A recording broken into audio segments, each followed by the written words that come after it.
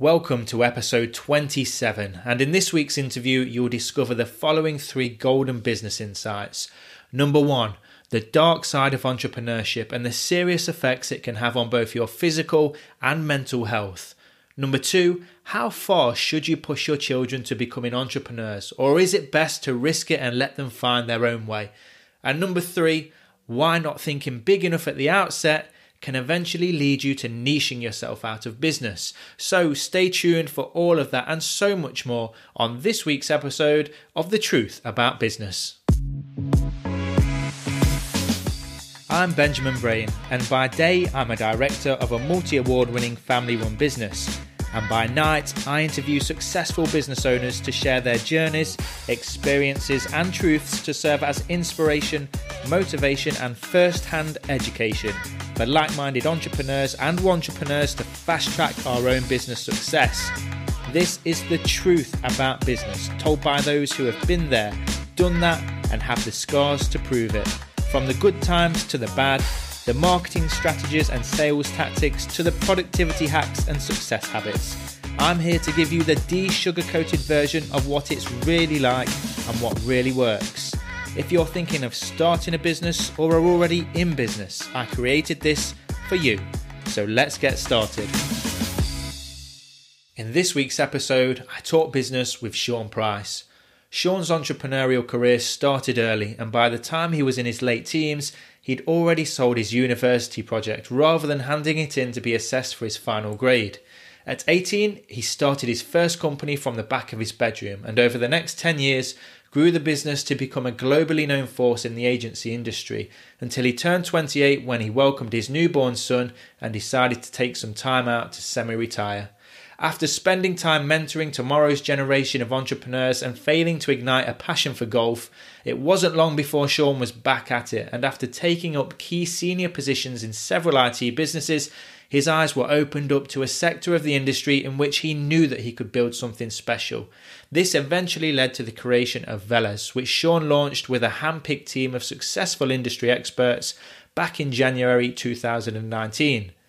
Since then, the business has experienced rapid growth, already becoming an internationally renowned player in the managed services field and being recognised by the top advisory firms in the world, with the team being officially recognised by Gartner in September of 2019. So Sean now spends a large amount of time traveling around the globe, spending time with his team and meeting with multi-million dollar business owners and CEOs in the States to secure new sales contracts and pick the brains of some extraordinary high performance people. To find out more about Sean and the services Velez provides, visit www.velezmanagedservices.com or you can find Sean on LinkedIn under Sean Price. Sean spelled S E A N. This was another brilliant interview with another inspirational entrepreneur who is already extremely accomplished and is destined for even bigger things. And Sean hasn't had it easy. He openly talks in this interview about the physical and mental health problems that can often come with being an obsessively driven entrepreneur. You know, success leaves footprints. So let's take a walk with the jet setting, go getting international businessman and CEO of Velez Managed Services, Sean Price. But before we do, I just want to give a quick shout out to Rachel, who left me an amazing five star review on iTunes.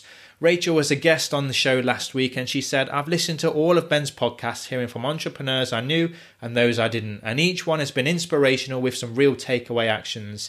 It's inspiring to really hear from those who are running their own businesses, their advice, and their honest accounts of how challenging it can be. I'm now so proud to be one of Ben's guests. Thank you, Rachel. And even though I was nervous at first, he soon put me at ease. All the episodes are strongly recommended. It really is the truth from the very heart of business. Thank you so much for taking the time to write that review, Rachel. It's an amazing one, and each one means so much. So, if you'd like a shout out on next week's episode, you know what to do. So, let's get back to the interview. Okay, Sean, welcome to the Truth About Business, and thank you for taking some time out of your. Uh, I know you have a very busy travel schedule to share some business truth, so really looking forward to this one. So, if you could teach us one thing that you think is going to help us enhance in business, what would it be? Care about the people above everything else in the business. Profit will come, revenue will come, and people are going to come and go.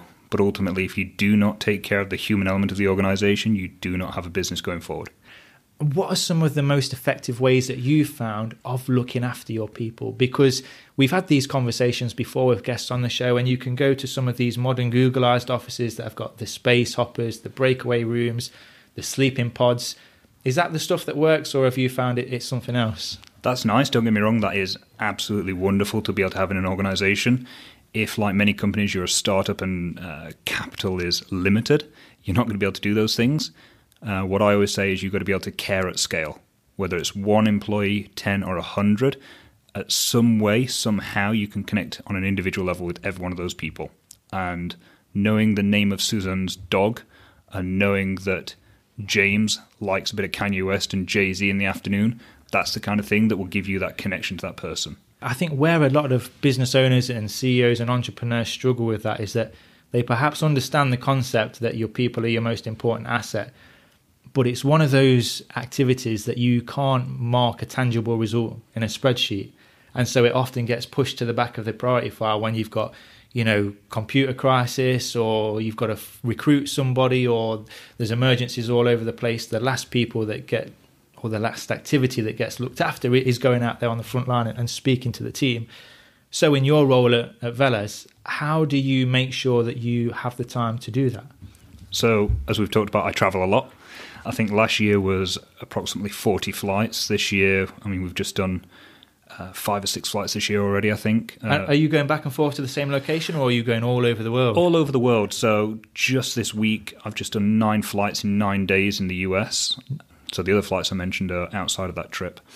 But being able to pick up the phone, because look, at the end of the day, we have 4G everywhere now, we've got Wi Fi everywhere for certain. If you cannot find the time to send a one line email to somebody on your team, your priorities are screwed up. Wow. And those trips that you're making, is that is that sales meetings? Is it seeing the team? Is it what what's where are you going on these flights? So our offices are geographically located in two different regions right now. We've got a UK office and then we've got an office over in Europe. So I am flying over to Europe every single month for a week. I have an apartment right next door to my office out there, so I'm spending a lot of time with the people there, which is really, really powerful. For them to see that you are not just a figurehead on a Skype call, for you to actually be able to be present. The other meetings uh, the other flights are sales meetings or meeting with other executives. And a lot of the time, including this trip to the US, that's nine days in nine different steak restaurants with nine different bottles of wine and having really in depth, powerful conversations with people who you are either working with today or you hope to work with in the future, um, but also people you can learn a lot from. Yeah, so you obviously put a lot of, of resources, time, and effort in to get out there and meeting the team. And I can see, yeah, it's building a great engaged team. They see the leader in front of them, they see that you care for the business. So it must be a brilliant atmosphere to be a part of the team of. But do you see that coming out at the at the back end with the results that the business is producing as well? One thousand percent. Uh, we just onboarded seven new people about three weeks ago. And one of the things that I did while sat in an airport, funnily enough, was I sent an email out to those seven new starters. Hey guys, hope you're settling in well. I hope everyone's treating you well. Uh, if there's anything at all that I can do, bear in mind they have line managers, there's a HR manager involved. Anything that I can do, let me know personally. And the responses were just incredible. The team's been incredible. The people have helped us. People have gone above and beyond you know, there was nothing more you could have possibly done to have made this onboarding experience the first two weeks wonderful. And part of that two week, by the way, we took a whole bunch of them out to the mountains for uh, an overnight stay in the mountains, a barbecue, and you know, a bit of a get to know each other with the team. So, yeah, putting that value in, you see it. It, it really does show itself in the work. Right? People feel valued. They want to feel like they're respected and they are valued in the company it shows itself in the work every single time. So the, even from day one, they're seeing the CEO right in front of them, showing that you care, and that sets the agenda nicely for the rest of the time within the business. It does, um, you know, and depending on how you look at things, obviously we've got people in different countries around the world as well. But I, I tend to think of the back office as the core team, and you know, if they see you not only on a on a day to day call, I have a I have a set call with specific members of staff every day of the week and they know my schedule. They know that I book my flights well in advance. They know exactly when I'm out there. But also, other members of senior management here in the UK also fly out there every two weeks, every three weeks. So we're as as uh, conscious as we are about the environment, unfortunately, in order to run a global business with multiple offices, you need to be in front of your team. You came to that answer very quickly when I asked what was your one thing that you could share about building a great business. So it's obviously been very important on your own journey. So for anybody out there that's listening right now, if you could just pick one thing that they could take away from to help them build a more engaged team and be a better leader to the rest of the business, what would that one activity be? The one activity is spend as much time on training your team, helping them learn and develop their own selves, uh, as you do on looking at your P&L or looking at your sales forecast, right? And I think one of the big, big objectives there, and I heard it from somebody recently who put it in much better words than I could have ever done it before, which is look after your people personally, professionally, and financially. Help them achieve those three goals. And that mindset of looking after your people, is that something that you've been taught on a course or had a coach, or is that something that you've developed yourself after seeing the results in the different businesses that you've been in over your career? I made an enormous mistake with my first business, and it was an enormous mistake, and it's not having the ability, especially at a young age when I started my first company at 18. You know, we ran that very successfully for 10 years. But my mistake at that point was not having a thick enough skin and not being resilient enough to take some of the blows that are going to come your way. And I'll always remember having uh, fired a non performer and went through their email to make sure that we weren't missing any files that we might have needed for a project and seeing some of the private conversations they'd had with other members of staff about me. Wow. And as good as I thought I was being to those people, sometimes, you know, things happen, right? You've got other priorities in your life. You might have a screaming child at home, for example. And if you take that into the workplace as a leader, everybody sees it. So I do share a lot of my personal life with my team. I'm also very conscious and very cautious that not everybody wants to know that I had a screaming baby at home. But you've got to have the empathy with your team, and they've got to be able to have that with you. And so now I put more emphasis on the team than I put on the P&L when did you make that realization that that's where you'd been going wrong? Obviously, you built your first business very early on. Mm. You said that that's where you went wrong. Was that sort of an early, early realization, or is that now as you look back after your additional years of experience? I think it hit me quite hard at the time, if I'm honest. We did a lot of the Google esque things, right? We bought a lot of the fun stuff. We had a six foot helicopter flying around the office just because it was fun, right? Because you put emphasis on that but then you're missing some of the crucial details. You're, you're not taking care of Jimmy when Jimmy's having a bad day and you need to actually pull him in and have a conversation because you just think he's having a bad day, he'll get over it. And so it was doing things like that and having that realization, going through those cycles, and also for myself, who's someone that has nowadays openly shared a lifelong struggle with mental health and depression, it's seeing that actually, as much as you might shield that from your employees, some of those people are going through the exact same problems and they're trying to shield it from you.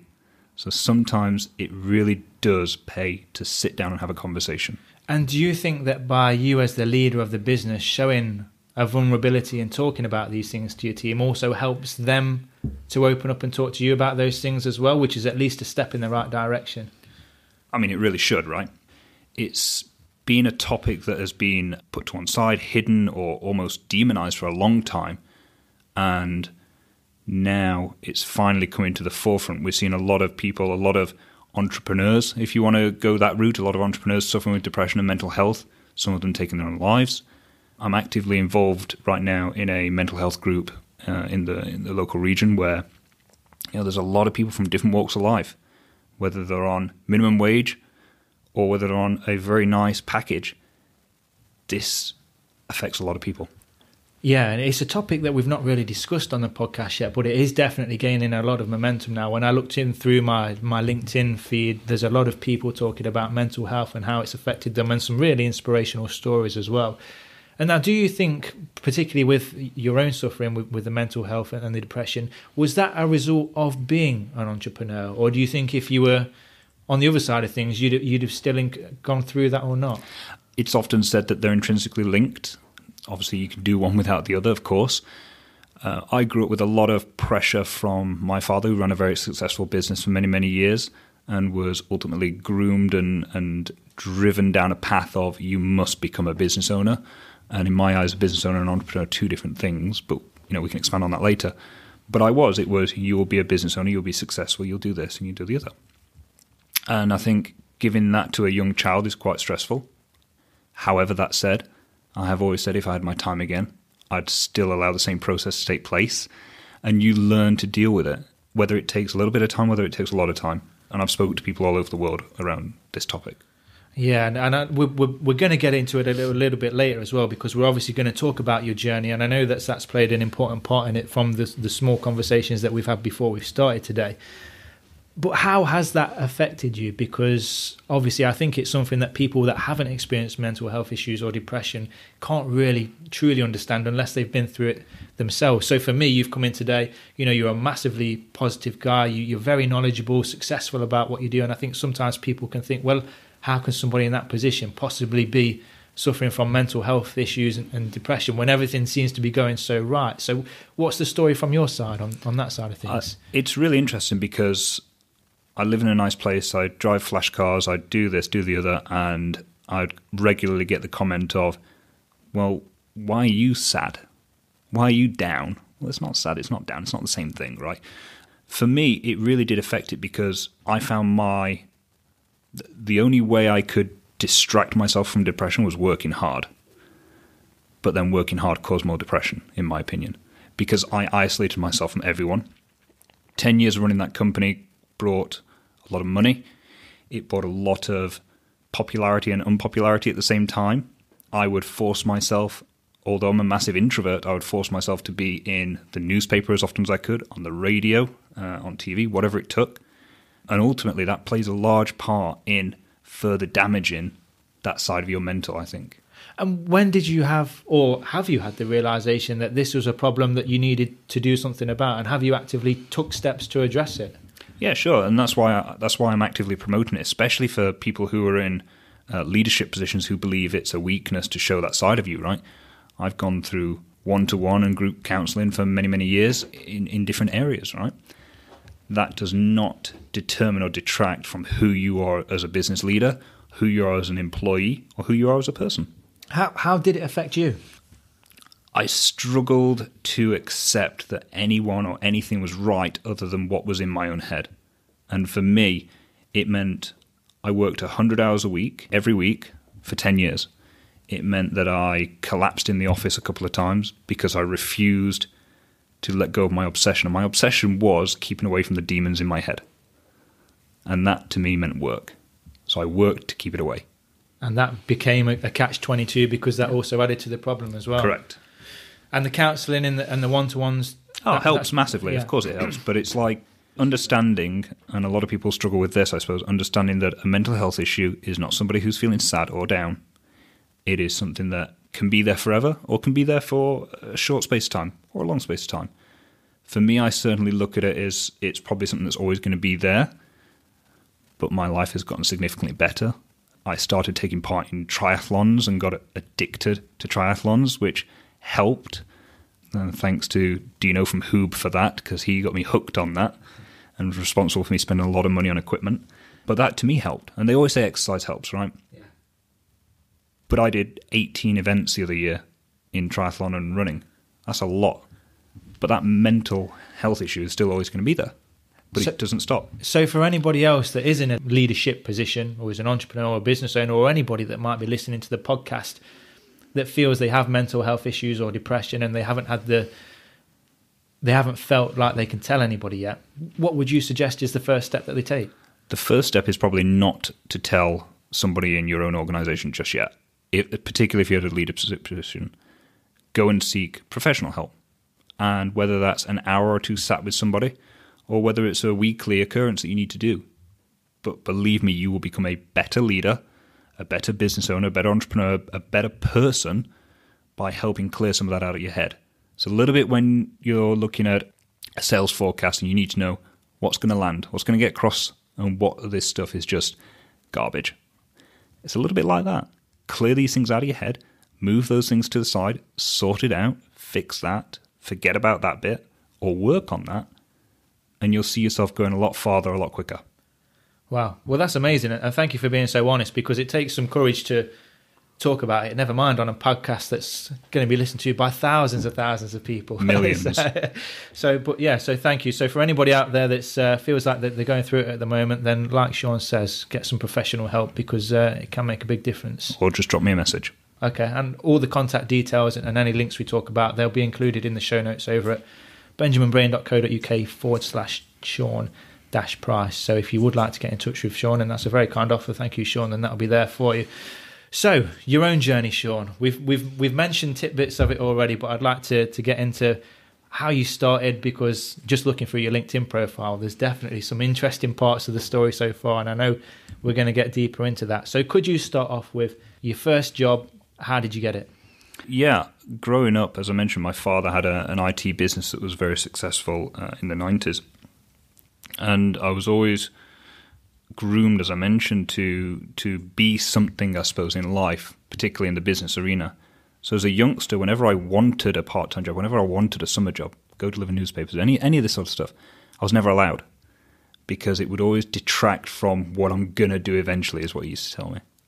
The first experience with entrepreneurialism, I suppose, is I opened a tuck shop in my school when I was a kid. And I got permission and they thought it was cute, you know, go ahead, Sean. And in your first week, when you're out selling the school's own tuck shop and they shut you down, Ooh. yeah, that was hard. That was hard. But when you're eight years old and you've just pocketed 50, 60 quid, At eight I mean, years old. I mean, you, you're laughing. So that was my first sort of taste, if you will, of that bug. And I and I went on to do a couple of things over the next few years. But as my as my father's business was very successful, we ended up moving out to um, Spain, which is where I lived for uh, almost ten years. So I went straight into a Spanish-speaking school, not speaking a word of Spanish, mind you. Um, I knew maybe one to three, and yes and no, and that was about my limit. And quickly got thrown at the deep end, and it was, there you go, learn. I was a straight A student up until the age of 12, when I, oh, 11 when I moved there. And going from straight A to straight Fs, because you don't understand the language, that was really tough. And for me, I had to figure a way of distracting myself. Now, because my father's business was in IT, I had my first computer when I was probably age four, I imagine. And I'd very early on learned to program because that's how my brain works, right? I, am a problem solver. And what ended up happening was you learn to program. Well, now you learn to hack into things and break things. And So when you talk about programming, a lot of people talk about programming, but people that are not from that sort of world, can you give us like a brief summary of what programming is actually about? Yeah, I mean, I, I wasn't drag dropping making HTML websites. It wasn't that. It was more a case of writing programs that would do at that time malicious things. So I would write a program that would shut down the computer lab at my school. Yeah, I was I was writing programs that would format the hard drive and wipe all the files off of my teacher's computer. That sort of thing. Okay. Did they know you were that dangerous at the time? They eventually did. Yeah.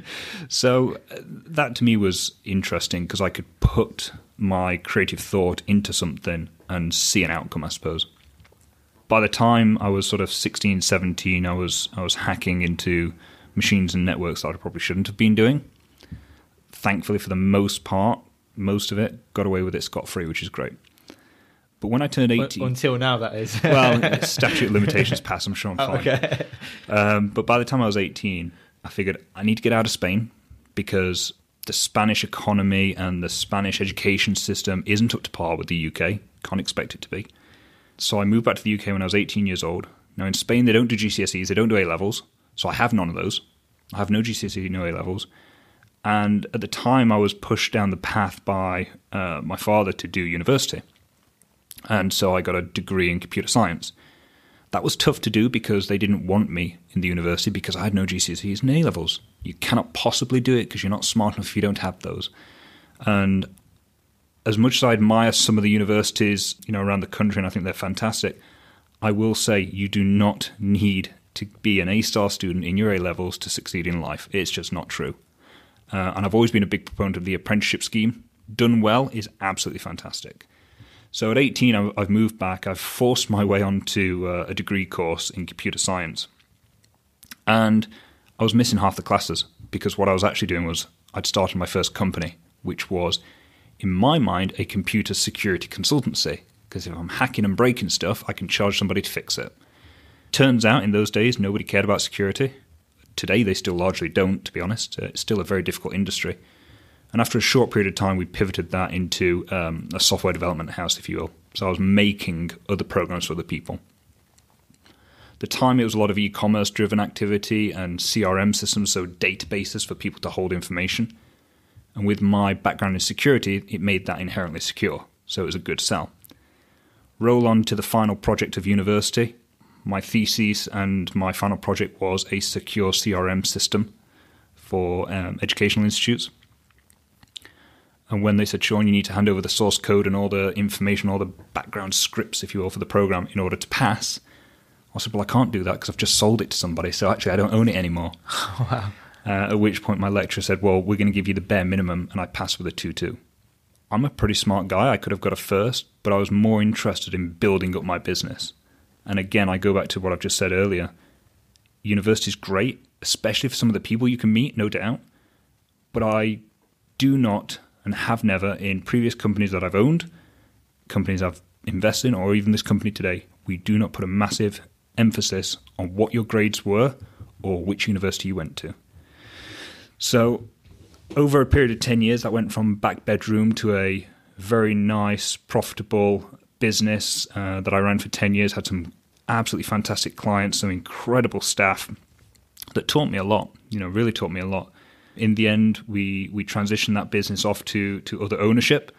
And at 28, I was what I referred to as semi retired, which was an interesting position to be in, namely because three months after that transition, my, uh, my son was born. And going back to when you first moved over to Spain and you were chucked into the deep end in the school, was that part of your father training you to be a good entrepreneur, or was that just a, a result of the circumstances that were in at the time? You, was that done purposeful to say, Sean, here's a big problem you've got to figure out, make it happen, or was that just it had to happen because of the way things were going with the business? No, I mean we lived in a very very nice area, uh, the gated community kind of area, right?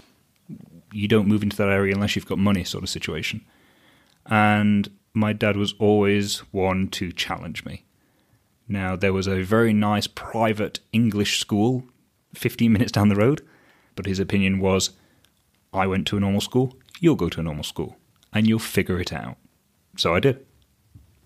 And there's a very interesting conversation I had when my son was uh, a few weeks old, I think, and I was in a bar here in Derby having a conversation with Kevin Maderi from Nelson's, and he said to me a really interesting comment. He said, You and I are entrepreneurs, Sean.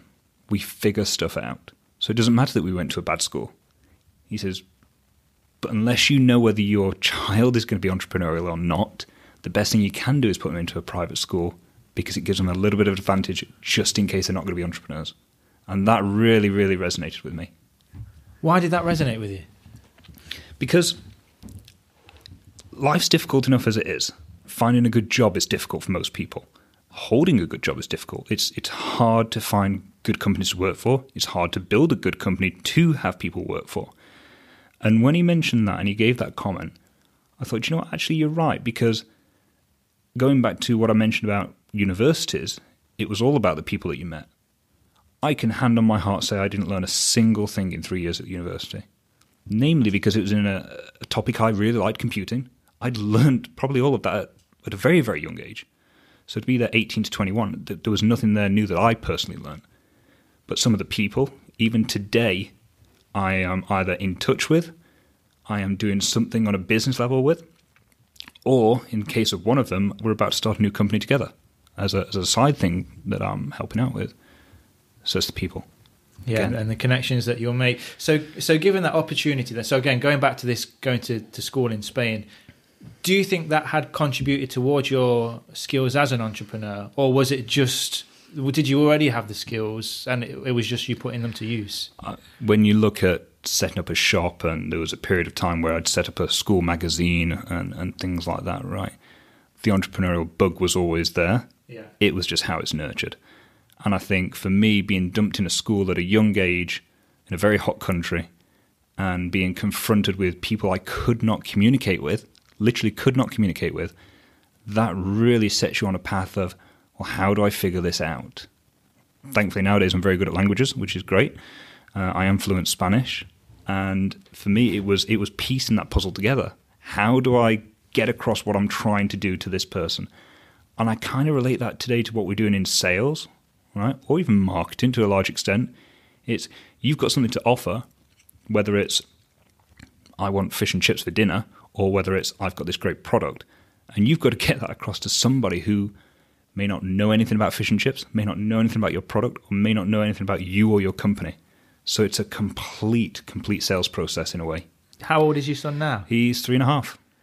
And so, have you? Are you going to encourage him to be an entrepreneur himself, or are you going to let him find his own way based on your own experience with your own father? Yeah, that's a that's a very very interesting topic that happens between his mother and I. It's so tricky, isn't it? Such a balance because I've got a three-year-old and a five-year-old, and I'm there's just a, an always conflict of let them find their own way, or you know, you can nudge them down a certain route or push them down a certain route.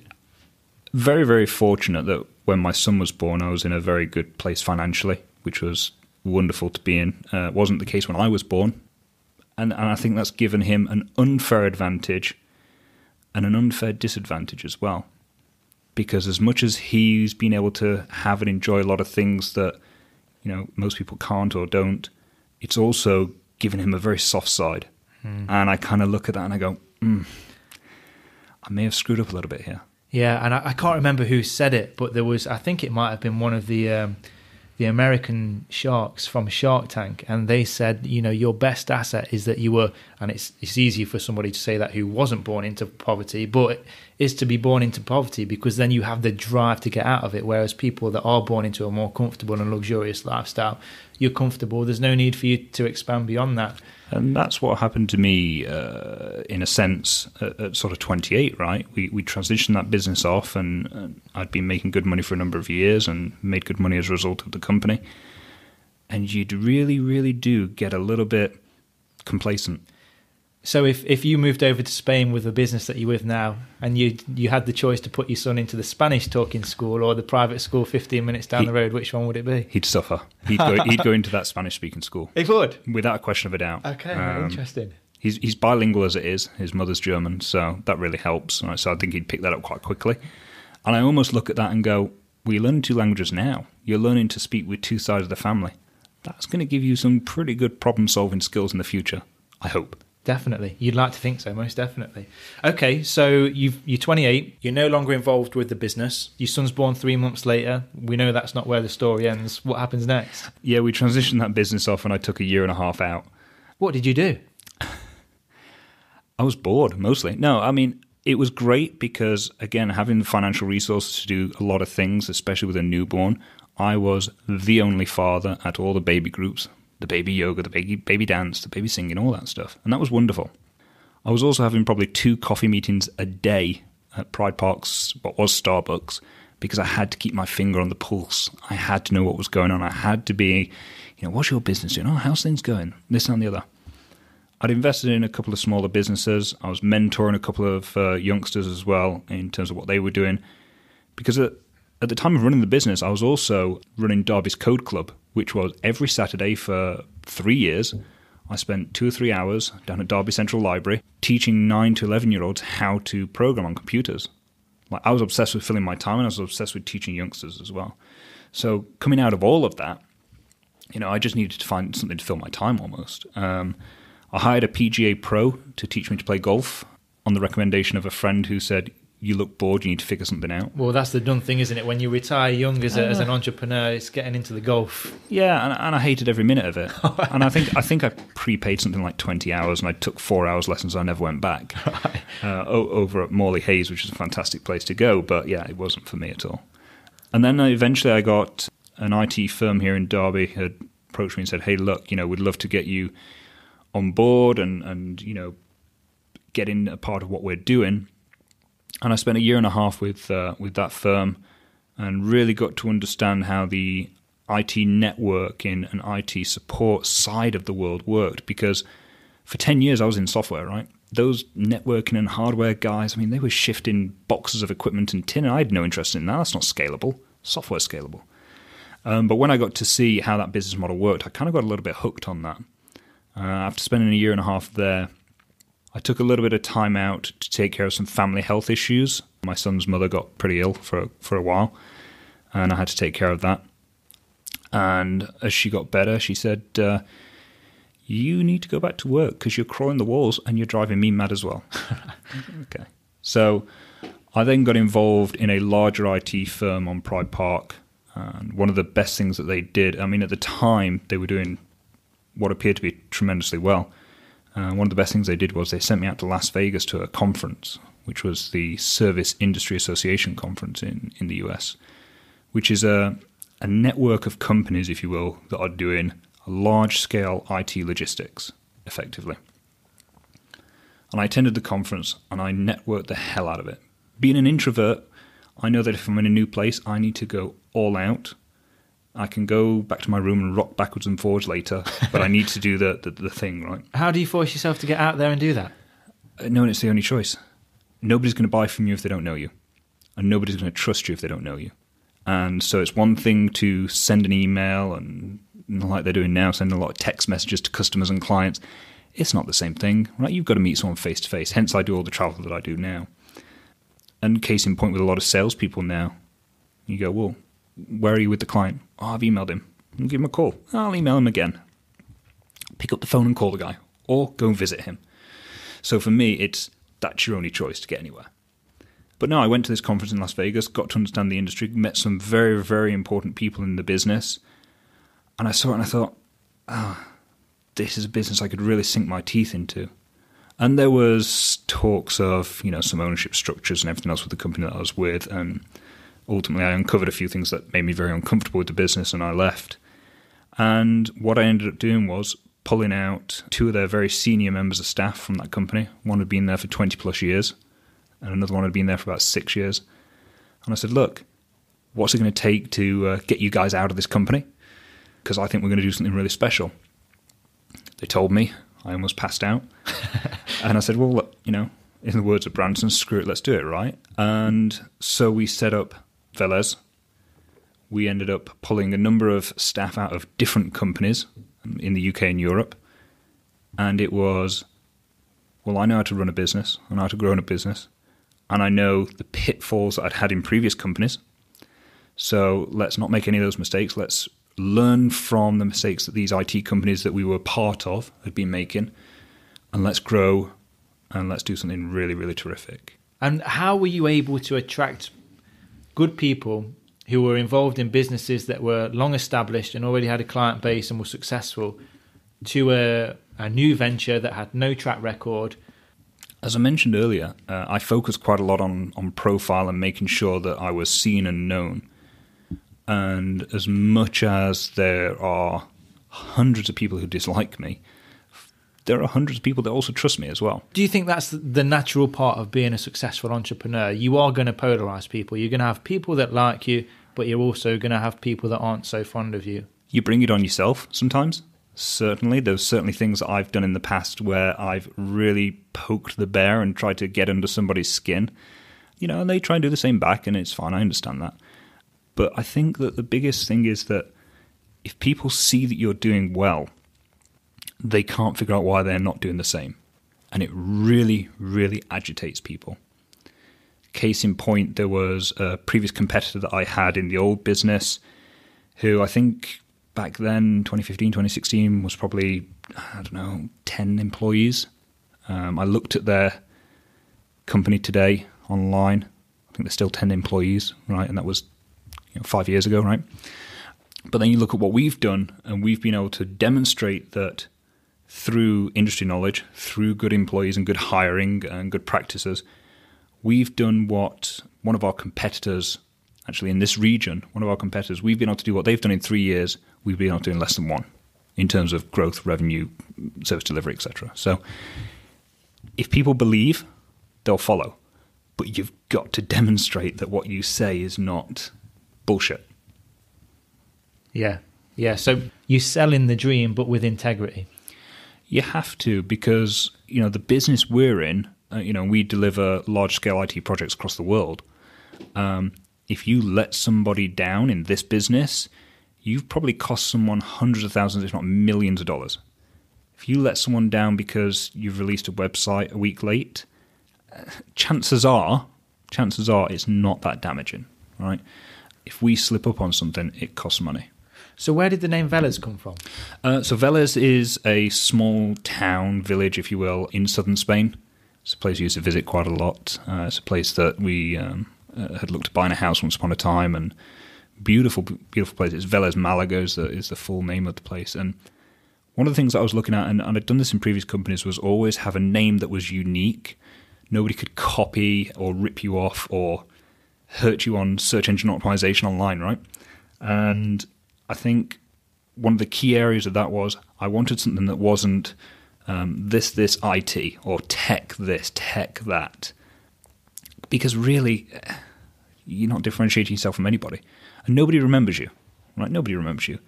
I go to conferences and we travel around the world. It's like, you, you guys are from Velez. Yeah. Rather than you guys are from tech something something.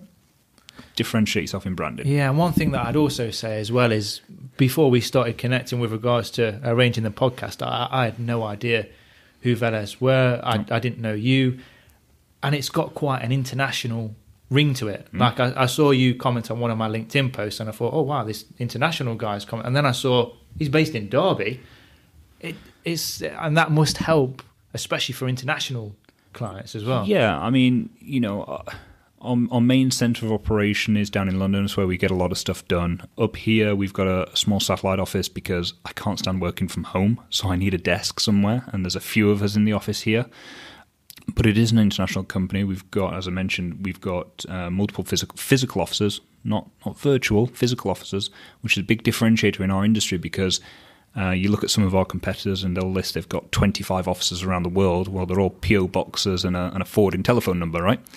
Um, so you have to have integrity in what you say and what you do. And I think with regards to how we position ourselves, yes, we have this office in Derby. Yes, I live uh, 30 minutes outside of Derby City, but we're not a Derby company. And I think that's an interesting place to position yourself in.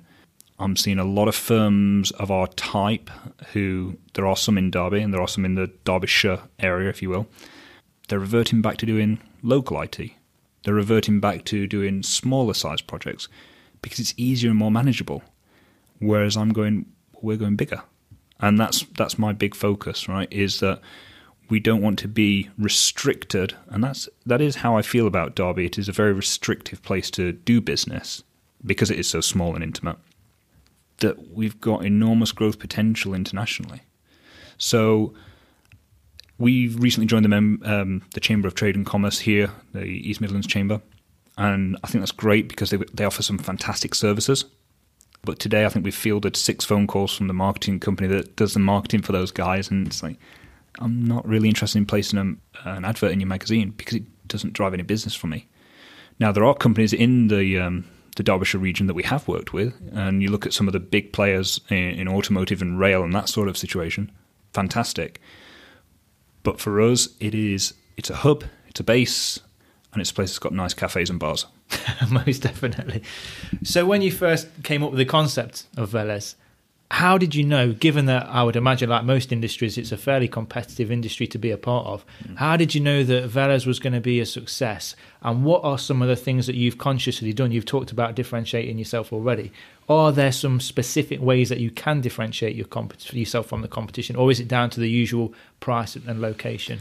In our market, price is very, very competitive. Uh, no two ways about it. And I think that is down to the pure nature of international, right? A lot of IT companies, including some of the guys in this very city, they outsource their back office to India because, hey, it's cheap, it works. The problem there is that it can be a little bit difficult sometimes to to grasp what they are saying with different accents, and, and that's different accents on both sides of the phone call, by the way. Right, the Derbyshire accent isn't the best in the world, but also not only do they that, it's the time zone difference, right? So we've got our we've got a big office out in Europe, which is GMT plus one. We're one hour ahead of the UK most of my team are educated in either American or UK institutes, even though they're overseas. So you call our office, it sounds like you're talking to an American or a Brit. It works well. So for us, it's understanding the pain points that all of our customers and all the customers of other firms similar to us have experienced. It's time zones, it's getting stuff done, it's reliability. So we pride ourselves on service delivery In fact, we've got two mottos in the company. One is whatever it takes, and you'll often see that branded on a lot of the stuff that we do. And that is whatever it takes, assuming it's legal, right? We won't cross that line. yeah. But the other one is, and it's in our email signature as well, it's doing right by the customer first time, every time. Because if the customer's not happy, the team's probably not going to be happy, I'm not going to be happy, and we ain't going to have the business. So, just being in the US, uh, came back two days ago, sat down with a company who had been using another firm in the UK and said, We call these guys, they don't pick up the phone. We email them, maybe it takes six hours to get a reply. I said, Right, call our line right now. Just call it. Three rings, bang, answer. And now I'm emailing someone going, Why did it take three rings?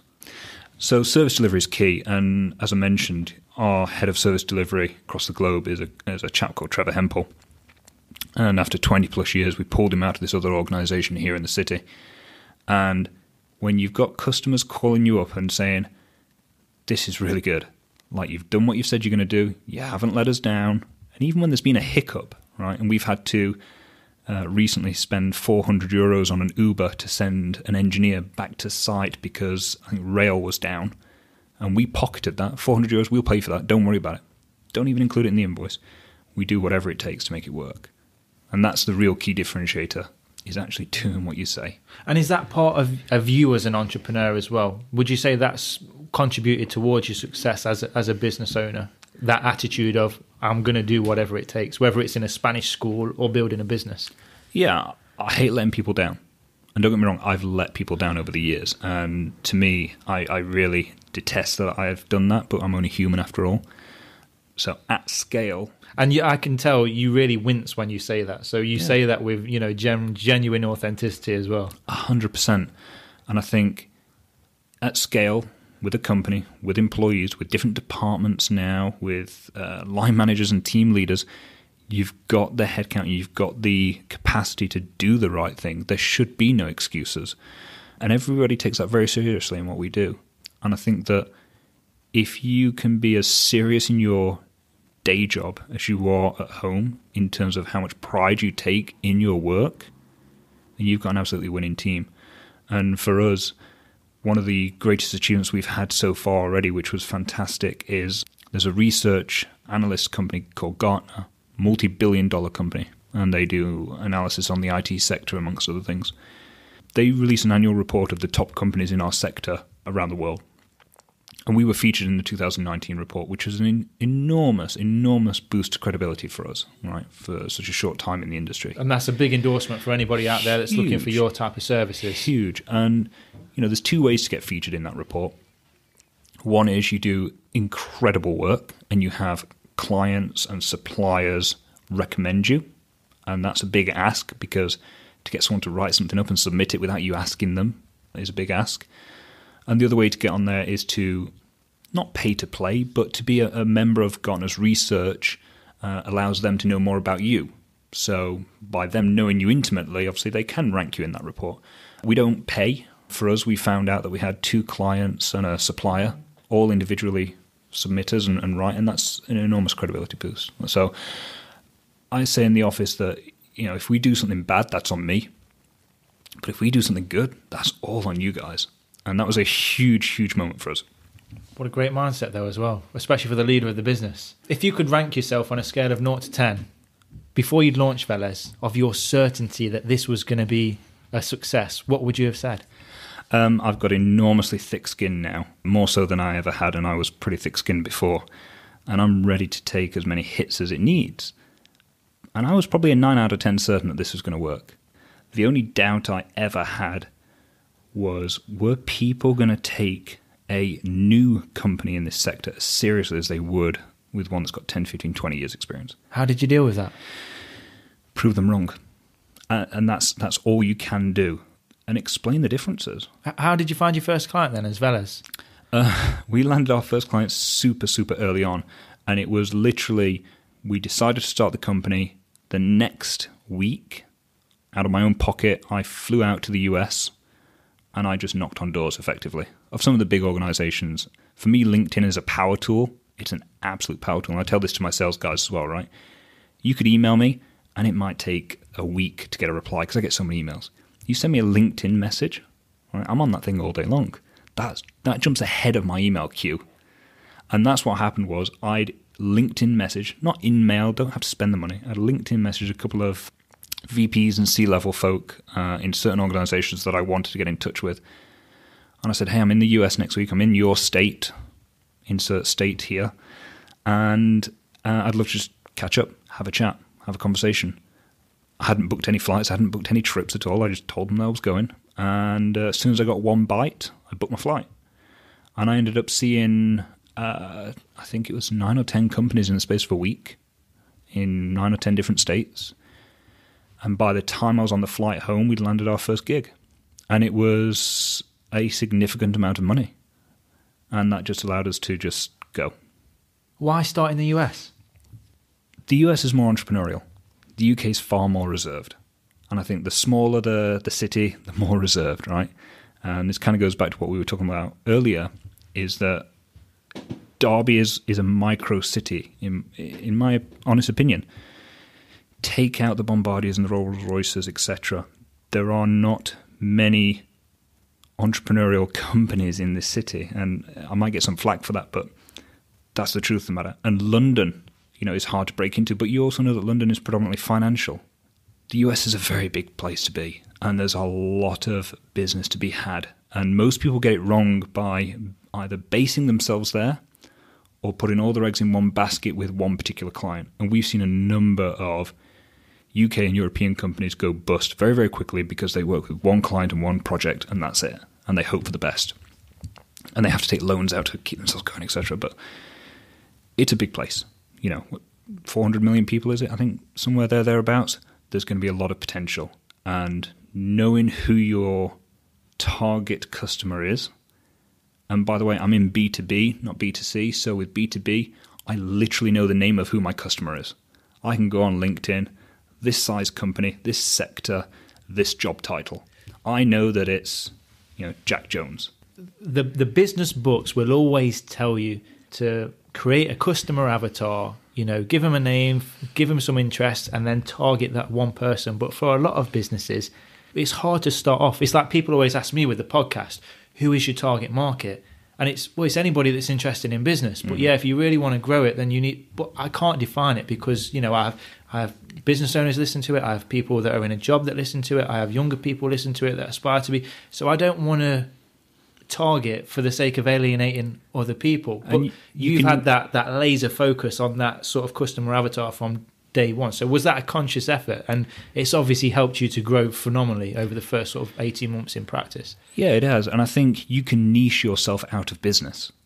Like you really, really can. And again, going back to the reservedness, there's so many companies, so many companies in IT and in other areas in this city and greater and beyond who cap themselves out at about that 2 million revenue. Well, that's because they pretty much targeted everyone that they'd had in that niche little focus above and beyond that, how do you target anyone else? How do you find anyone else, right? So we'd got a great idea of who our business preferences were, were who our clients were going to be. And we didn't have it down to a T in terms of it has to be this specific uh, avatar, if you will, but it was this profile of person, this this sector, but also this job title helped a lot. And again, you don't need to spend enormous amounts of money on advertising because that tool, LinkedIn, is a great little tool, and that's been responsible for ungodly sums of money. Wow, amazing! What the social media platforms have have enabled people to do. You know, it is, and you don't need to go to you know great lengths to train on how to use it. If you can open the website or open the app and type in a search box as you would Google, that's kind of all the training you need. Yeah, but then it's just having the actual courage 100%. And, and, the conviction to your cause to go out there and actually contact people who have never heard of you before. 100%. So I've got a couple of questions for you. I usually ask what's the one biggest challenge, but I want to tackle two different aspects here, and it might be the same answer for both. So, what would you say has been the biggest challenge for you since launching Velez? The biggest challenge is accepting that you are ultimately a remote CEO, whether it's three officers, whether it's the fourth one we're in the process of um, doing at the moment, or whether it's 400. Being a CEO that's not in the office every single day, or not in each office every single day. And I took some great advice from a, a CEO in the US who has approximately 50 offices for their company. I said, How? Mm, yeah. How could you possibly be present to those people? And ultimately, his answer was not too far removed from what I said earlier, and it's care, right? So for me, the biggest obstacle is I'm not in this office for four days. Okay, I've got a manager there, I've got everything else, but I've not been in that office for four days. What's happened? Or, you know, what don't I know? And then you're in that office. Well, what's happening in the other office whilst I'm not there? Having great people, great line managers, and coming from a software background, having great software and processes and procedures in place helps enormously. But that is by far the most difficult thing I've had to deal with personally as the leader of the company. Okay, which I imagine is going to be a very similar answer to this question, which is what's the biggest challenge or what are some of the challenges of being an international business? Because you're definitely the first international business that I've had on the podcast so far. Time zones. Time zones are an absolute killer. As I say, having just come back from 10 days in the US, I landed in New York. So I'm on New York time zone. That's great. By the time I've landed, uh, and we are a 24 7 organization, so we have people working at every hour around the clock. But landing there, being on the wrong time zone, getting the data on your phone or the Wi Fi, picking up all those emails and starting to hammer those out while you're waiting in customs and security to get through. And then the next day, I flew to the other side of the US. I flew over to the West Coast. All right, you're on another time zone now. And every day for nine days, I flew to a different state. And in that time period, I changed time zones four times keeping up on top of what you're doing. I've got to fly out to Dubai soon. I've got to fly out to China. I've got to, well, when it's safe. All these things on different time zones and appreciating that your urgency might not be the same urgency as somebody else who when it's three o'clock in the morning for them. But also, there's there's the workload aspect to that. But also, how do you maintain your energy and your positivity and your enthusiasm? Because I presume in each of those time zones, you're meeting a potential new client and the last thing anybody wants to do as soon as they step off a plane, especially if they've been in three different time zones over the last nine days, is to go and present and pitch to somebody. Super hard. If you ask my team in the offices, they'll tell you it's probably Red Bull, but uh, I don't drink coffee. Um, no, look, get in sleep. You've got to be able to get enough sleep. And again, one of the things I learned after exiting the previous business was I needed to take care of my mental health, which included fitness. So I run, I do triathlons, I cycle, I have an indoor turbo cycler so I can get miles done in the house. And then I meditate most days, which is something not a lot of people know. That's uh, a secret weapon. Interesting. That is something I have tried to get into for so long, but So just hard. always find the time to do something else. And there was somebody that said to me, if you don't have the time to meditate, that's when you know you need to meditate. So, how did you get into making that a staple part of your routine? And what are some of the benefits that you felt as a result? I'm a huge, huge podcast listener. And you bombard me with enough advertisements about a particular app, I'm going to install it. and I kept hearing uh, Headspace Yeah. over and over and over again. And I installed it and I thought, do you know what? I'm committing. I'm buying a year's membership up front. Whatever it was, £100, I can't remember. And, and I liked it. I really, really got on with it until eventually, and I lived in the southwest for some time. Eventually, the Bristolian accent wasn't quite calming enough for me because the guy that runs it is a Bristolian chap. Um, and I thought, I, I need something else because if I'm not able to focus like I once was, because they're, they're very samey, they're very samey, the guided meditations on Headspace. Uh, I found out about Calm, which is the bigger, more powerful, and more venture backed brother. Is that C A L M, just spelt normally? Calm.com. Yeah. Okay. Headspace is like $100 million, Calm's like $500 million app. Wow. So big difference. And there was male and female voices. There was different voices, there was different stories, there was different avenues, different topics. And that's the one that I've been hooked on for the last couple of years, especially. Whether it's 10 minute reboot, like literally just find 10 minutes. And yeah, if you can't find 10 minutes, you really need to re-evaluate your schedule. Um, that for me is a huge win, just in terms of decreasing anxiety, getting focus back, and clearing through some of those decisions and thoughts that you need to make. Right, I, I get a lot of good thinking done when I'm running, but I also get a lot of good thinking done controversially when I'm meditating. I come out of it and I go, ah, that's what I need to do. Uh, Do you have a set time of day that you try to get your meditations in, or is it just whenever you get that spare 10 minutes? Considering that depending on where I am, 6 a.m. is very difficult sometimes if I'm on a completely different time zone. Uh, I try and stick to first thing in the morning, 6 a.m. if I can help it, because I get up pretty early usually. But the more I travel, the more it tends to happen sort of afternoon into the evening. And it depends if there's a client dinner involved. If there is, then it's definitely got to happen early in the morning. Otherwise, after a steak and a couple of glasses of wine, it ain't happening. As though it turns into a falling into sleep, never Correct, mind meditation. I, I gather from talking to you and having looked at your experience, you are obviously very knowledgeable in the in the service that you provide in the IT world, but you also strike me as a very capable leader of the business as well. And I think that's quite a rare combination in any industry to have somebody who's very knowledgeable and, and super skilled at what they do, but is also a good leader. So there are obviously aspects of the job that I get from talking to you here that you really hmm. enjoy. Which parts of the business don't you enjoy? What wouldn't you do if you had the choice? So in previous companies, I made a couple of mistakes early on, and a lot of that was around not delegating enough, right? Not letting go because I'm a control freak, as most entrepreneurs tend to be. I like to know every little detail of what's going on.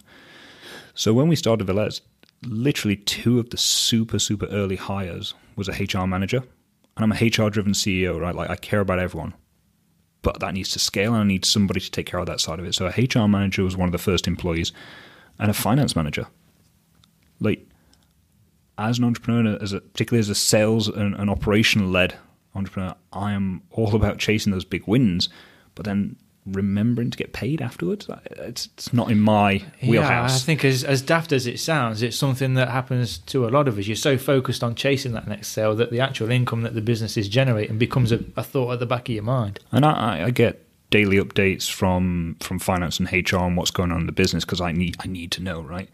I'm obsessed with knowing what those details are. I'm just not obsessed with chasing them necessarily. So those were probably the two of the biggest ones, and they've been working out fantastically. Case in point, had a conversation recently with our finance manager. They'd uncovered a lot of money we'd just not got around to billing. We didn't even know it existed. And for someone to just go, "You've missed this," and then you know that's at scale with processors. It's invaluable, and it's just not something I could have got my head into. What would you say is the biggest mistake that you've made in your entrepreneurial career so far that you that you feel comfortable talking about on record? Oh, on record, that's probably very different. Letting work get in the way. And I can't go into too much detail, but letting work get in the way of friendships and relationships when you probably should have put those first, Sean. And I think for me, because I was obsessed, and that's what it was, it was it was a genuine obsession for ten years. Everything else kind of fell to the wayside. And I felt the aftermath of that after the fact. You learn from your mistakes. But given, particularly with that first business, given what you took out of that Mm. and what it's led to moving forwards throughout your life, would you have changed the way you did anything knowing what you knew then? Yeah, I mean, if I could rewind and go back to 21 year old me, 25 year old, 28 year old me, even, and those possible still ways of salvaging certain things, I'd have told myself to care more about what's going on outside of the office than what's going inside the office. But I also know, knowing myself, that I'd have turned around to myself and said, go away. In a very polite way, obviously. But very well put. Okay, okay, interesting. And what would you say again throughout your whole entrepreneurial career? Doesn't necessarily have to be with Velez, but if you could pick one moment so far that you're proudest of or your biggest success, what would you choose? I was in um, a Virgin Atlantic aircraft, sat on the runway at Heathrow Airport, if I remember rightly, ready to take off. It was quite late at night, and I was flying to New York for the first time. I was going there on my honeymoon, and I sat there and I thought, "Hmm, you know, I've just got to check my emails one more time before we take off, because God forbid I don't have Wi-Fi for eight hours. And I remember checking my emails and seeing an email on Christmas Eve. This was from a prospect I'd been chasing probably for three or four months, and had not got a single bite off this guy. And I opened that email, and he goes, "Yeah, we'll do the deal." And it was a great amount of money, and it was a huge, huge win for me because it was something that I'd chased for months and almost just let it go. Which business was that with? This was with iBox back in the day. This was a, this was a tremendous deal, and uh, yeah, it, it changed the course of what we were doing. So that was that was absolutely magnificent. But on the flip side of that, there's probably one memory that I have of one of my clients who gave me a fantastic piece of advice, and that's always stuck with me as a proud moment. I had one particular client who was an entrepreneur that had sold a couple of businesses, and at the time I was 21, I think. And he didn't want to know me because I'm a nobody, right? I'm a 21 year old guy in a suit that's telling him I can do these things.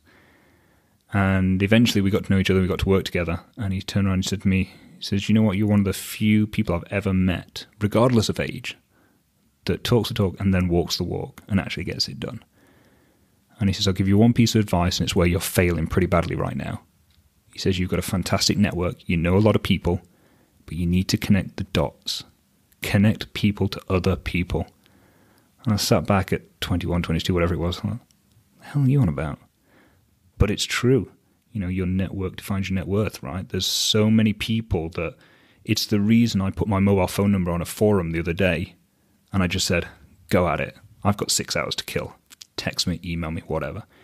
You never know who you're going to be connected to, who you need to connect to, and what value you might have towards someone, even if they have no value towards you in a professional setting. So, what's next for Velez? We've got a very, very exciting future. And I'm more excited about what we're doing with Velez than I've ever been about anything I've ever done before, professionally, obviously. We're in the midst of opening up an interesting office somewhere. We're in the midst of hiring rather aggressively. An interesting office somewhere is that top yeah, secret? I, I, I'm not going to say the location because it will probably show some of what we're up to, I suppose. okay. But we're hiring aggressively. You know, I stood at our Christmas uh, party in December and I said to the team, I said, this is where we're going to be next December. And I said, well, really? Like that many? I said, well, look, we're hiring a little bit ahead of what we need, but ultimately we're hiring safe. We are very rigorous in our hiring process. And what we're trying to do is build a very large, sustainable business. I want to approach the 200 employee mark over the next two to three years. Wow. And I think, given what we're doing today, given what's coming up, given some of the learnings that I've got from fellow CEOs in, in, in our industry as well, seeing what they've been able to achieve, I think that's achievable. How do you see your role changing as you grow to a business of that size? Or do you see it changing? yeah, it's got to change, right? It absolutely has to change. And I like to think I'm changing day by day towards that. A lot of what we do today, both hiring, both process driven, everything, we are designing today to be there already. So you, you're speculating to accumulate. Hundred percent. Yeah. Hundred percent. You know, we're profitable, which is great. Uh, we are doing all the right things process wise. But one of the things that I saw as a mistake through other businesses in this sector was throwing people at a problem rather than trying to solve the problem itself first. And so we have invested heavily in technology, very, very heavily in technology, to avoid certain problems we saw in other organizations. There are companies in our industry that have pools of administrative um, employees working on little problems day by day. And my opinion was, why have 10 or 12 people doing this one little job when it can largely be automated and have two people manage it? And those other people give them much better, fantastic jobs. And the truth of the matter is, if you've been around for 30 years, you're probably struggling with the same old software and infrastructure that you've always had. And ultimately, you know, we've not had to go through that. We've get to start from scratch and get to build that up. So if we were, you know, if we if we were struggling with the same sort of architecture these companies were, we'd have to have a lot more people purely to manage the stress. So yeah, we've got a very interesting year ahead. So, so you've invested in the infrastructure, not just the, the fact that you're bringing more people on board to deal with the extra business, but the actual way that this, the business is set up to deal with the the problems and the processes that you're going to have to be handling at 200 people. Yeah. So that that's a more expensive way of, of doing things. It- it- It's not when you get there, but it is to begin with. So you have to have total confidence that yeah, I'm going to spend more now, but now I've got to make sure that we grow to that size to make it a worthwhile investment. I mean, you look at sales, marketing, service delivery, all the things that matter to us, right? I can tell you of businesses at 2, 3, 5, 10, 15, 20 million that are either not using a CRM at all, or using a free CRM, or they're using free email tools, or they're using Outlook to manage 10,000 tickets that come via email. We invested really heavily on Salesforce.com from the very get go, and Salesforce.com is one of the most expensive pieces of software out there you can get. Right? It costs us thousands, but it does the job for us. It does so much of the handling and the heavy lifting um, from managing, you know, 400 plus opportunities that are in the system today to uh, handling thousands of tickets a month. You'd need a lot more people to handle that and a lot more brain power. And I tell you what, you'd have your team hitting burnout a lot quicker if they were not leveraging technology like we do. We know about your speciality. We know about your journey. Now I'd like to dig into a bit more about Sean the businessman and your views on what it takes to be successful. So you've obviously had experience of growing multiple businesses Yep. now. You work with very successful business owners all around the world. If you could pick maybe two or three attributes that you've identified, be it within yourself or within these people that you've met, what would you say are the sort of key attributes that people really that are successful exude? kill the ego. That's such a such a big one, right? And I think I was speaking to someone recently about this. When you're in your twenties and you're out earning everyone you know, you have a lot nicer things, and life seems really, really good. It's easy to miss out on the important things.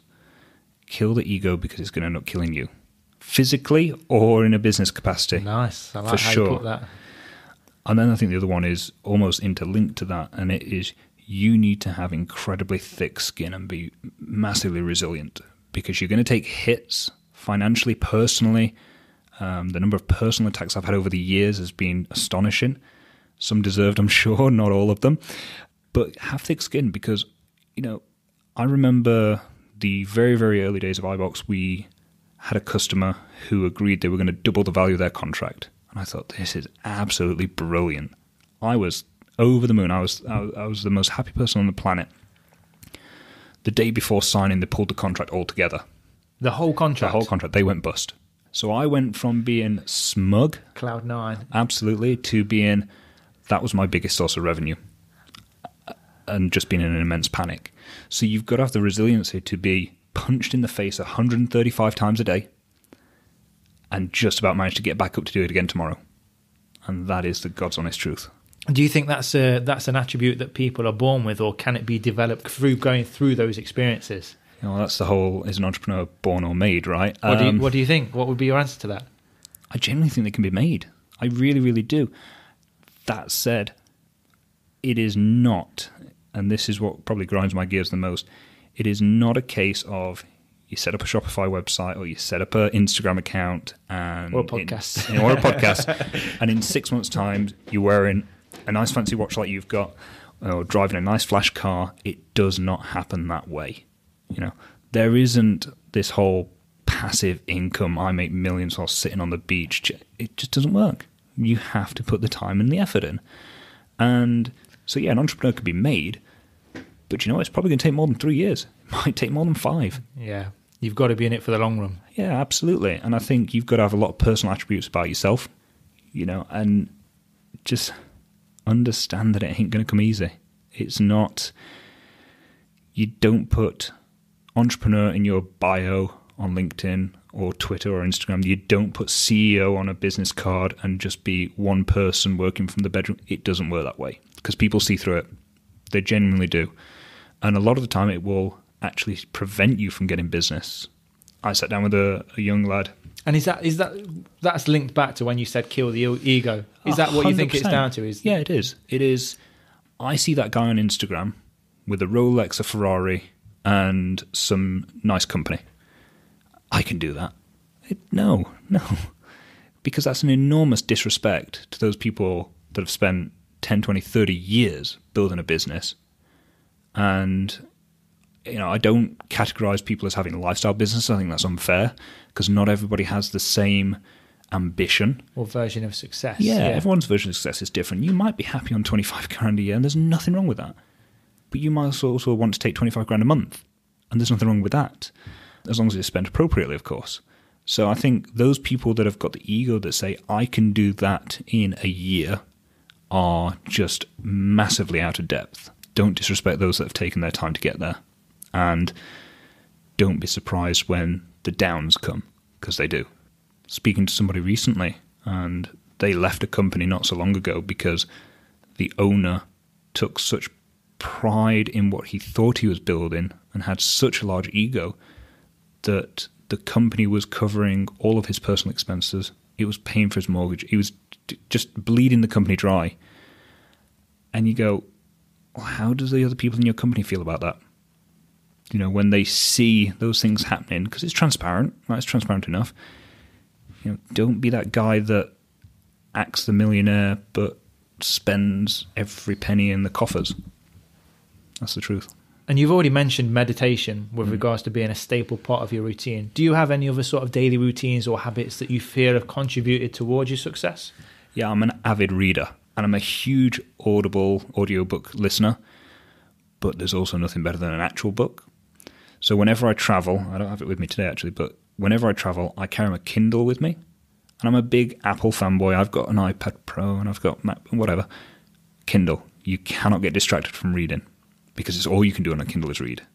So whenever I'm traveling, whether I'm in a car or an Uber or whatever it is, I'll pull that thing out and I'll get 10, 15, 20 minutes worth of reading done. And, you know, there's lots of books out there that will tell you how to run a business or what to do. There's a lot of books out there that will tell you the nasty stuff as well about business. And that's kind of what I prefer. I kind of want to know what's going to hit me and what's possible and, and the nightmare scenarios. So meditate, read, do some exercise. Whether it's, you know, I, I like to run most days if I can. Uh, it's difficult when you travel, but I try to most days. But get fit in your mind, get fit in your body, and the financial fitness will follow. Nice. And if you could recommend one business book for any aspiring business owners out there, slash entrepreneurs, people who aspire to be a leader one day, what Well, would I've you not- pick? Yeah, I've not yet finished ri- writing my book, but um, Ah, well, that's the next question. there's two books I'd probably recommend as as go tos. One is um, Andy Grove's Only the Paranoid Survive. okay, I've not heard of that one. The guy that basically founded Intel Computers. Right, okay. Um, that's a fantastic read. Um, really sets you up in the right mindset for dealing with some of the the demons that come down the path. Okay. And then um, a book called Reboot by a chap called Jerry Colonna. So, do you remember GeoCities back in the day? The name rings Yeah, a bell, but I can't was- remember what it was. it was Something one- to do with online. Yeah, it was one of the old um, build it yourself website kind of setups back in Like the, a Wix yeah, or a- yeah. super super early on in the in the web era. And um, so Jerry Colonna was uh, effectively a venture capitalist, and that was one of the companies he ended up buying, and it was one of the big exits. And you know, the guy the guy made a metric ton of money, and he was considered himself to be, you know, one of the best out there, and he would travel from New York to LA in the same day and back again because, hey, he's rich, he could do that. And now, after going into a deep depression himself and, you know, almost committing suicide and all these things, he became a CEO coach in the US. Uh, he had a famous blog called The Monster in Your Head, and he studied Buddhism and all these things. And Reboot is a a podcast and a um, CEO group that he's led in the US for quite some time. And he's now just released this book only three or four months ago, I think it was. And I've read this book twice now. And at the end of every chapter, there's probably 10 questions that it asks you to write down. You know, and straight away, put the book down and write straight away. And I cried more than once reading that book because it asks you some deep, dark stuff about yourself. It's a business book and it's a life book. Wow. Um, So what what's the what's the toughest question then in the book? You don't have to give us what your answer was, but what was the question? I've got all the notes on my phone actually. Um, it's getting to the underlying reasons of why. Just just why everything. Why do you act like this as a leader? Why did you do that in the workplace? Why are you like this with family? What do you think those who work for you think of you? They're scary questions to think about. It is, especially if you don't take the time to think. You just put it down and you write straight away. You know, then it's it's stream of consciousness coming out. He's known as the CEO whisperer. I've heard of him. Yeah, I've definitely heard will- that you will phrase. Have, you will have seen probably some of his videos online, and as he likes to say in his in his talks, um, his superpower is making CEOs cry, and it's easy to see why. You know, when you get that German, you get to the bottom and the root of somebody as a leader. You quickly understand why someone runs the business they run, why they run the type of business, and how they run it is so often rooted in childhood trauma. Oh yeah, that's. I mean, when I did the session with Estelle Reed, it's just crazy to think that those early years have such an impact on who we are for the rest of our lives. It's It's crazy. But Oh, yeah. there's also things you can do about it as well, which is 100%. the good thing. Yeah. So it's all very well getting to those root causes, but what was the what was the main takeaway that you took from that? Has that led you to doing anything different the way you you lead the business and you are as a person? I think it's simply enhanced some of those earlier learnings that I'd had from from the previous companies. I remember many many years ago, we got broken into and had iMacs and MacBooks stolen from the office. You know, tens of thousands of pounds worth of equipment. And I remember getting the phone call going, "Hey, we've been broken into." And I went down to the office and I saw and I saw the window had been broken and all the equipment taken. And I was cool, calm, and collected. I walked out of the office, round the corner of the building, and I punched that brick wall because I was furious. But I couldn't let people in the office see that. And what I've taken away from this book is largely those learnings that I've taken of being able to be mindful of what's going on, to not let anger rule what you're doing in the workplace, because it is so easy to make rash decisions based on micro pieces of information. And a micro piece of information to you is different how it will be to somebody else. And a comment passed by somebody can mean something immensely different to somebody else. And especially in our organization where we've got multiple languages, multiple uh, ethnicities and races in our company, what is said by one person means something completely different when translated and accepted by somebody else. And I learned that growing up in Spain when I made some incredible, incredible mistakes with the Spanish language. I thought I was saying one thing in Spanish and it meant a completely different other thing. Yeah, but I mean, even just emailing somebody in the own business Context. exactly. So to add, a, like you say, a different cultural and language aspect to that, I don't even want to think about that. So wow, but yeah, some very interesting lessons to learn. So thank you for that. Now you mentioned your own book. Is that something that you're actually doing at the moment? Have you started to write your own book? No. I haven't, and um, I'm, I'm not sure it would get much uh, much attention, to be honest. No, I, it's not me, right? Like uh, the genuine, authentic me. As I mentioned, I'm a massive introvert. I could write a book, but I, I don't think I've got a story to tell just yet. There's still plenty of story to go by the still of plenty it to go well. by, yeah. So, but if you were to, what would you call it so far? If you were to write a business book based on your own journey so far, what would you call it? Uh, probably what I call my blog, which is uh, Entrepreneur in Recovery. And the important thing about that is it's not drug or alcohol recovery, nothing like that at all. It's recovery from being an entrepreneur. Right. Okay. Because, as I mentioned, I was obsessed, I was driven. It, it put me in hospital multiple times. So the way I look at things now is I don't do 100 hours a week anymore. Nowhere near. Nowhere near. So for the for the last five years, I've considered, or the last three years rather, sorry, I've considered myself an entrepreneur in recovery. Yeah. Learning to recover from that addiction. See, this is interesting because I, I I did a post recently on LinkedIn and I called it the the business rites of passage Mm. with regards to you are in a seemingly from what we've talked about today great position now. Sure. You work far less hours. You have a much healthier balance of life. You enjoy what you're doing. Do you feel it was necessary to go through those hundred hours of work, those hospital visits, visits, to get to where you are now? I still say yes. And that sounds terrible. It really does. And I still think it was necessary for me. Not necessary for everyone. And certainly the worst thing in the world you can do is follow someone else's blueprint like for like, right? Mine is definitely not a blueprint to follow, but it served me very well. Okay, interesting, interesting answer. Thank you for sharing that, and thank you for being so honest with the answers as well. You've already mentioned that you were a mentor to some young entrepreneurs, um, and you were doing the IT club. If you could pass on some expectations of what it's going to be like as an entrepreneur to somebody who's not experienced it, for example, what do you think people have as misconceptions about being a business owner? What do you tend to find, particularly with the younger generation, they don't realize they're going to have to deal with as a business owner, or even the older generation that still has aspirations of starting their own business. I think the biggest misconception is that the business owner makes the most money. The business owner has the best life. The business owner gets paid more than anyone else every month. What's the truth to that? That's not the truth at all. It's nowhere near the truth, especially in the first few years. But then, hey, a recession comes around, and the business owner is the one that gets paid last because every single employee has to get paid. I make probably a lot less than most of the guys that work for me because uh, it's more important they get paid. It's more important that we grow. So the misconception is that the business owner's got a nice 5 Series BMW. God, you must be, you must have a good life, right? Well, no, actually, the company pays for that because it's a requirement in order to get from A to B to C, etc., and do and do business. Well, you know, you could have always had a cheaper car. Well, yeah, you can, but then there are certain tax advantages and so on and so forth. So, not looking at the superficial and not assuming that you're going to start a business and in 12 months' time you're going to have saved enough money to buy a house, you're going to have the, a nice car, and you'll have upgraded from Lidl to shopping at Waitrose. It just doesn't come easy, right? It takes time. And a lot of people give up before they get there.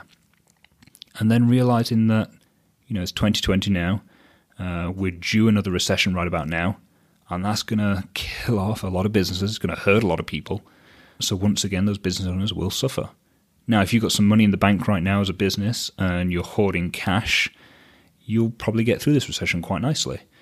But it's still going to be painful. And assuming you are a recession proof business is not true either, because realistically, no business is recession proof. So that's some of the things that I've just spoken to recently about people who wanted to start up in business and go, well, my business won't get affected by a recession. Yeah, it will, because everyone's pocket tightens mm. no matter what. What are some of the benefits? What do you enjoy about being a business owner? Well, the default answer by everybody that seems to get asked that question is usually freedom, right? Yeah, yeah it's freedom. Fine. To me, it's always been about being in control of where I'm going and what I'm doing. So your destiny is up to you and nobody else. A hundred percent. And I think for me, the benefits of entrepreneurship and the benefit of, of being a, a business owner, if you will, is that if it goes bad, I've done something wrong. If it goes well, we collectively have done something great. And that will shape what things look like. And I've had good times and I've had bad times, and I much prefer having good times. So I know what work is required. I know that even though I don't do 100 hours a week anymore, I know where those important hours are spent. And I also know that no matter what, some things are out of your control.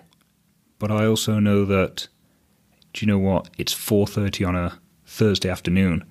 I got to go pick my son up from nursery. Priority number one. Easy as that.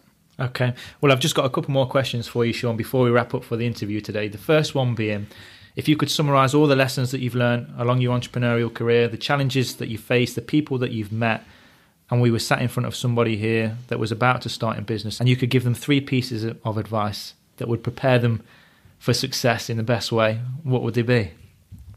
First piece of advice is quite simply go sit in a room on your own, no social media, no outside influence, sit down and write down on a piece of paper what it is your business does.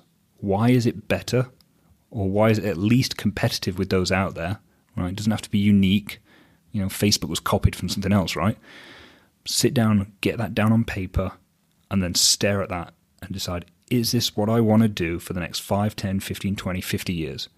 Because you may never retire rich off a business.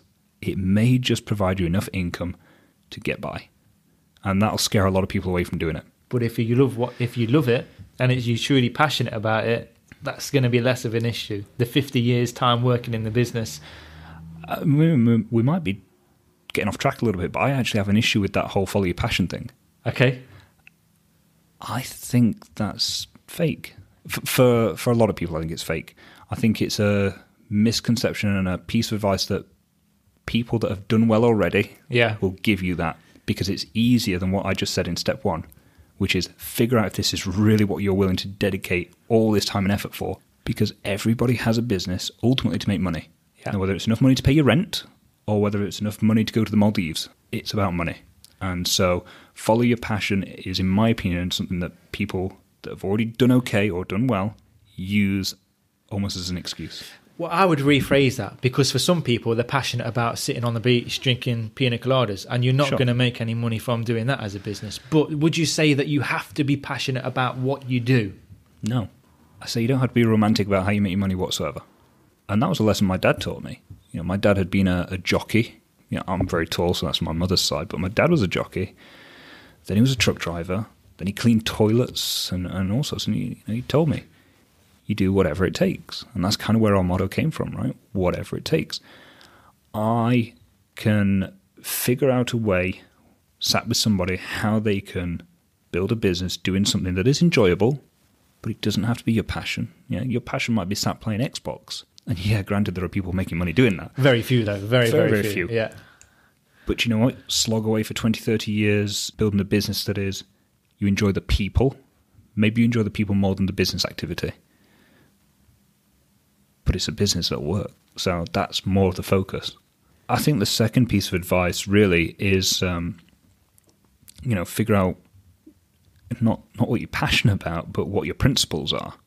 I travel all over the world. I'm a very patriotic person. So despite everything that's happening with the monarchy right now, I'm very, you know, very proud to be British and all these things. That can be seen as a negative to some people. That can be seen as a positive to others. Stick to your principles, but be willing to Accommodate interact others, and accommodate with other Yeah. people, right? Because not everything I think, say, and do is correct, just as it isn't for somebody else. So define what your principles are, stick to those principles, and be willing to be accommodating to other people around you. Yeah, I Okay. like it. Great piece of advice. And then number three goes back to that great piece of advice, and it was a it was a guy called Andrew Scott who uh, who gave me the advice of connecting the dots. Right, it's the age old adage of your network defines your net worth. Connect the dots, get people to work together and interact together. You'd be amazed what happens there. And you know, to this day, uh, although he was a client for for several years, I still consider him to have been probably one of the most influential mentors I had. Connect the dots, yeah. So when, so now that you, or when you first started to understand that concept fully, did your mindset change with regards to when you are making connections? Instead of thinking, how can this person help me or how can I help that person? It's how can somebody else in my network contribute to this person and vice versa? Is that a, mindset shift there then? Yeah, I think it's killing the ego goes back to that central theme, right? Not every handshake, not every drink, not every introduction um, has to matter to you personally, financially, especially.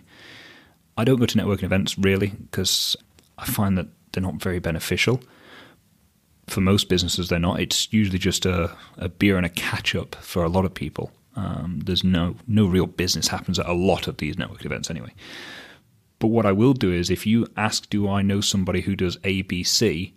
Chances are somewhere in that 8,000 person phone book of mine, there probably is somebody. And I am always more than willing to make a connection, whether it repays me further down the line or not.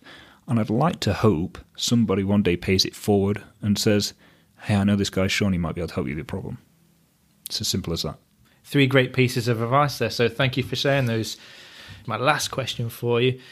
You're obviously somebody who's not afraid to get your contact details out in Oh, the dear. open. so if anybody out there does want to find out more about Velez or they want to talk to you maybe about some of the mental health issues that we've discussed, whereabouts can we find you? Easiest place to find me is just to go to LinkedIn, linkedin.com slash in slash Sean Price. You'll find me. As I say, it's a pretty quick and easy way to get hold of me as well, right? So, Yeah, now your LinkedIn inbox is going to Oh, be yeah. flooded. You're going to be going back to the emails. uh, yeah, definitely. So, Sean, you've mentioned there your phone book of 8,000 contacts, and you obviously know some very, um, very successful entrepreneurs. So, I'd like to put the question to you. If you could pick one or two people out of that phone book that you think would make a great guest on the show that could share their truths and their experiences, who would it be? I'll tell you what, I'll give you, um, and hopefully you won't hate me for this, but Andrew Scott, who's the CEO of the Ascot Group, which is a, a group of companies in the Southwest, uh, this is the guy who gave me that really key advice about connecting the dots. He'd be a terrific, terrific guest to get on. I mean, my schedule's tight, but this guy's uh, this guy's hard to get hold of. But hopefully, you'll make it happen. And then the second person, I mean, Andrew was very much uh, somebody I looked up to and and still do, but he was a mentor many many years ago. The second person I'm going to give you is someone who I look up to today, I suppose, in many ways. And we're in the same industry. Effectively, we're competitors, but I really respect the guy and I like what he's done with the organization he's in and uh, the path they've taken. And it's a guy called Dwight Stryer, who is the COO of Service Express, which is a large company like ourselves in the IT logistics and IT maintenance space uh, over in the US. I was just in their offices last week, actually. Tremendous business, but super, super people focused as well. So they've grown immensely over the years. And I think a lot of that comes down to how Dwight runs that operationally and far more inspiring than I can ever be.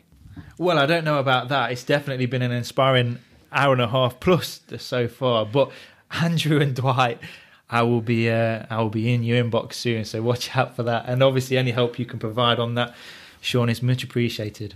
No worries.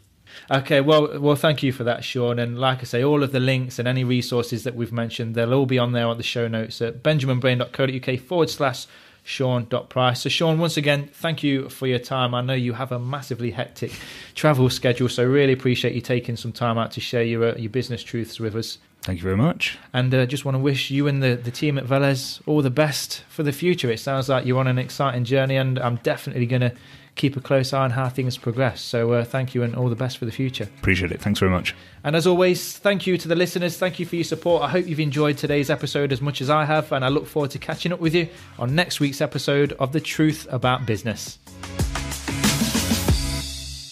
One final thing before you go. If you enjoyed this interview and want to make sure you don't miss out on the next episode with another real life business champion, make sure you subscribe via iTunes, Spotify, your favourite podcast app, or by visiting my blog at benjaminbrain.co.uk and hitting subscribe.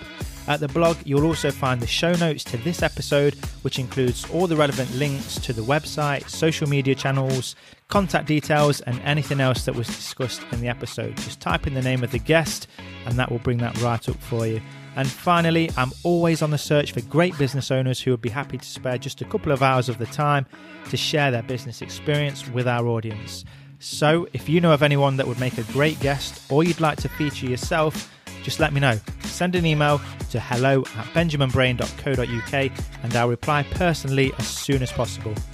Also, if you've got any feedback, questions that you'd like me to ask our guests, or any other suggestions, I am definitely all ears. That email address again is hello at benjaminbrain.co.uk.